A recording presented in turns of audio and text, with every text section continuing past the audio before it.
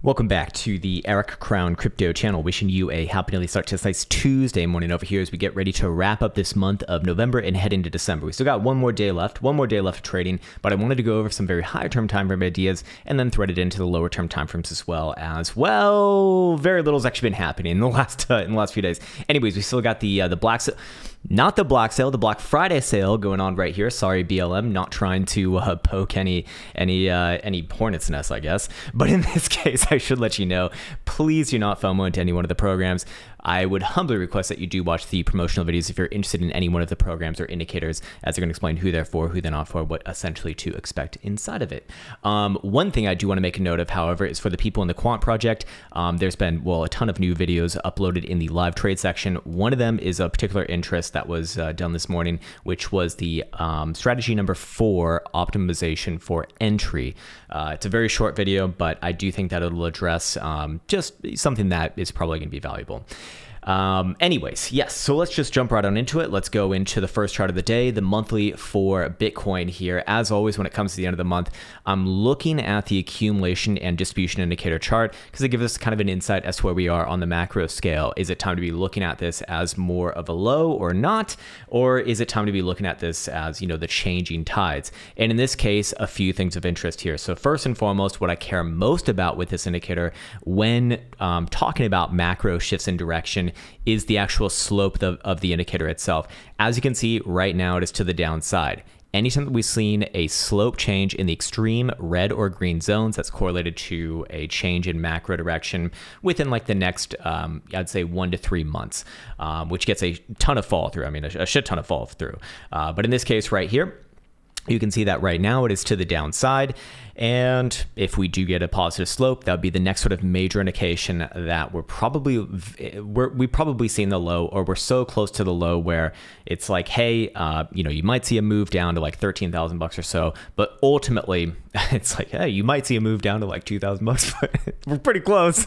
Um, here's the thing: it's sixty nine to uh, to to fifteen thus far. What's another two thousand, baby? What's another ten thousand? In fact, um, no, but in a more serious tone uh, you know, if we do start to see this slip, uh, uh, go to the upside, that's at the point where I'd really start to be looking at, you know, anything around here is good enough basically for the long term. You can obviously backtest this yourself when the slope change um, happens. Usually the low is actually already in. The low is actually already in um, as of like, uh, you know, two to three, yeah, about two to three months um, prior to that. Um, but on a closing basis, very, very, very, very close still. Anyways, the next thing that I want to bring up about this is that uh, we are also hitting this regression of a trend line going back to uh, the major lows of the 2014-2015 saga over here. And then also, we have seen a major correction, which is very much in alignment with what we have seen uh, in the past as far as what to expect coming off of these macro corrections. So let me explain this next part um, and explain, uh, which kind of gives us insight as to you know where a macro low might be and if there is going to be continuation, where that might be as well. But basically, um, what I've done here is I've measured from when the indicator itself goes from red to green, or sorry, well, from green to red, actually, is what I mean to say. Dyslexia again, biting me in the bunghole here. Uh, but for example, this would be right here in January of 2020. Now, I measured from that part to the next major low. So in this case, here's the change, here's the next major low, and you can see that that was a 62.5% correct uh, corrective phase. I've gone through all the prior cycles with this. And there's actually been some good, uh, some I wouldn't say agreement, but some good data derived from that. Keep in mind, we only have four prior ones, so it's not perfect. I mean, obviously, we'd like a lot more than that, but it's the best we can do, unfortunately, with the data that we have. So in this case, I've calculated that uh, the average correction from that time has led to about a 61 spot 34% move. And if we were to create a first standard deviation, that'd give us a range basically from 56 all the way up to almost 67.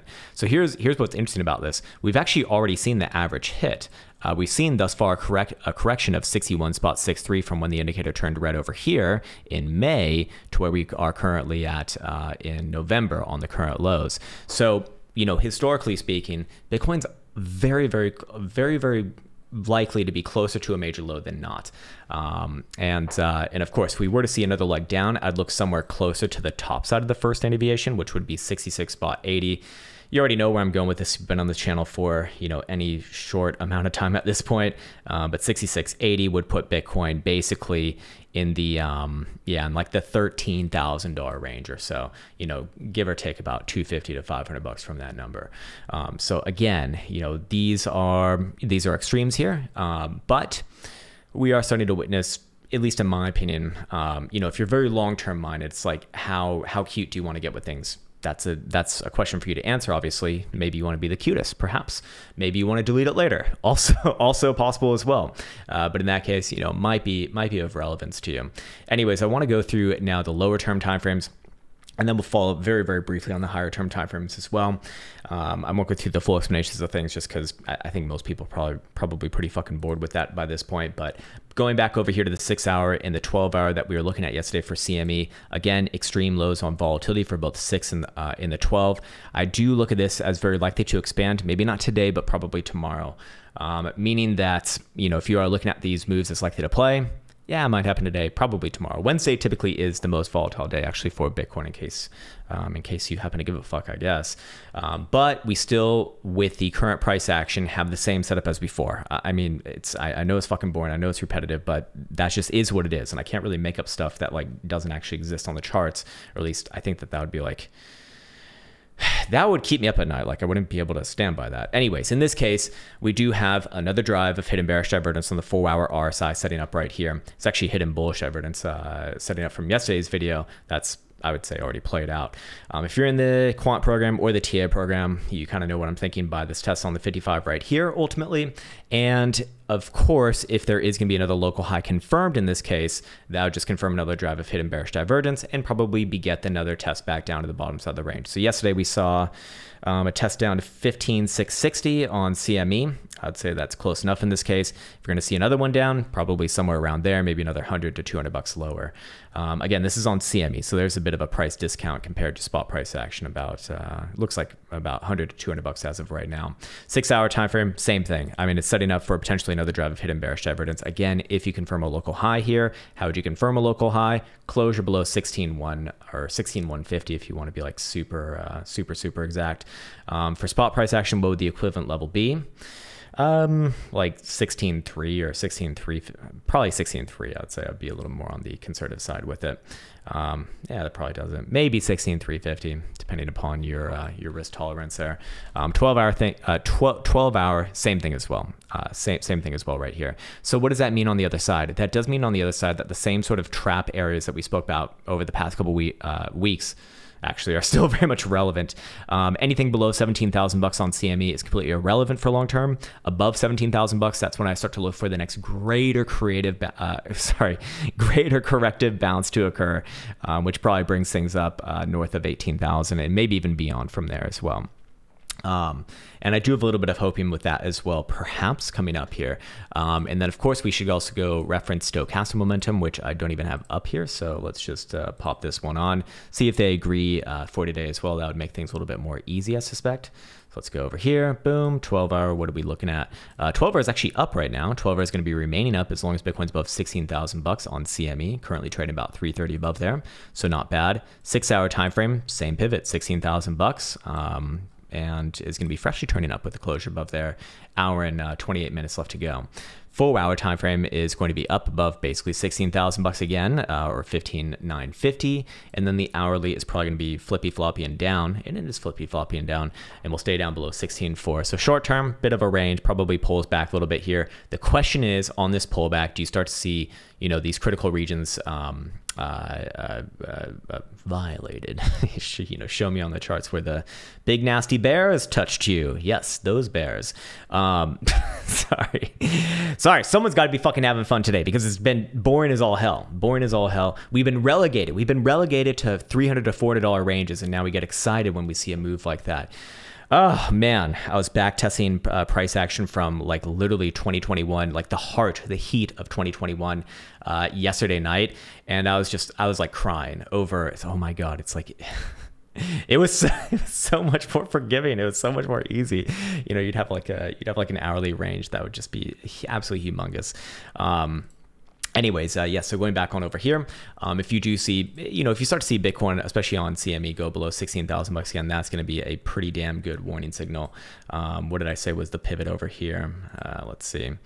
Um, I, I, probably said 16.1. That'd probably be close enough as well um, on a closing basis. So, you know, back below there, I look at this as a local high, again, closing basis, and very likely to be getting another test to the bottom side of the range. Um, as far as the higher term timeframes go, what's new? Well, we did close another two day timeframe last night, and Bitcoin did close above the pivot. I believe. I, I believe it was fifteen nine hundred. It closed about nine, 90 bucks above there, so definitely not emphatically. And you can see that that's represented on the chart over here. We're still not even really getting a real cross. Certainly not a close of a closure for a cross. And what's very interesting about this is that the pivot has actually moved up on the two day time frame to sixteen thousand five hundred basically. So that is to say um, as long as Bitcoin's below 16.5, I still look at this as risk to the downside, especially within this next like two to four day period, basically between now and the end of the week. Here's the thing though, and here's the hopium. If Bitcoin holds without, you know, closing on new lows by end of this week, the probabilities, these statistics will massively turn in favor of the BULAs for putting in a, a much bigger bounce, um, a much, much bigger bounce. Um, but for right now, I'd say that it's still, it, you know, it's still, still to the downside. Also, another chart that I actually haven't showed, um, I haven't showed this chart since like June probably. It's another two-day time frame chart. It's actually for spot price action, but not CME. Same sort of thing, basically. What I thought was interesting about this one is that we've actually already hit, um, we, we've actually uh, already gotten extremely close to not just the average move, we've actually overshot it, uh, but we've gotten uh, even closer to the top side of the first deviation here. So, and, and this one's also basically pivoted around the same days, which would put us like between. Um, would actually put us like already there, in fact, uh, as far as the average days goes. Yeah. So in this case, that would suggest that hey, uh, you should. It's it's more likely to be looking for a bounce right here um, you know, on the higher term timeframes. But the question is, do the lower term timeframes give way first? If they do, all of that goes out the window. I would be looking towards 13 to 13.5 or so, with the bounce along the way. Of course, not going to all happen the same day, or unlikely to happen the same day. I would think. Uh, then again, always wrong on that. Um, but uh, but on the higher term timeframes, yes, you know, if things do basically uh, hold on a closing basis above the current lows, by end of this week, I would say the probability is going to really start to turn in favor of a um, of a rally, probably somewhere around 18, maybe even a much greater rally than that. Definitely possible from here. Um, and of course, in the short term, if you do see that pop back above like 17 on CME, that'd be another damn good indication that you're going to see that that same thing happen. Um, and, and, and bulls will hold uh, before end of week. Until then, risk remains to the downside. Big eyes on the monthly, at least as far as I'm concerned. I think that's a great place to, even to be leaving off on this particular video. Um, I put out a video yesterday on Bybit's new. Uh, new exchange. They have they have basically a decentralized exchange. So it kind of takes care of the issue of like avoiding an ftx sort of situation. Um, of course you know, only if this is relevant to you. It's uh, I understand that anytime you, you talk about exchanges, people are going to call you shill, but I do want to make sure that people who are looking for something like that, you know, you actually know that it's available to you.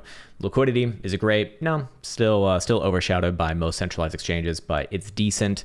And um, yeah, it's banned for all the all the regular countries as you would uh, as you would guess. Um, so uh, so yeah, that is a decision to, for you to make for yourself. I'll have a link in the description below. You also got Bybit's regular promotion going on too, but I don't need to mention that for right now because it is time to be leaving off on this video. I want to I want to be wishing you the best best as always. Take care, much love, and see you hopefully soon.